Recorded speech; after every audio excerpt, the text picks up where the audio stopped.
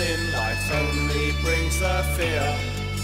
Nothing to corrupt the eyes, there is no vision here. At first you may find it strange, but do not go away. The darkness holds a power that you won't find in the day.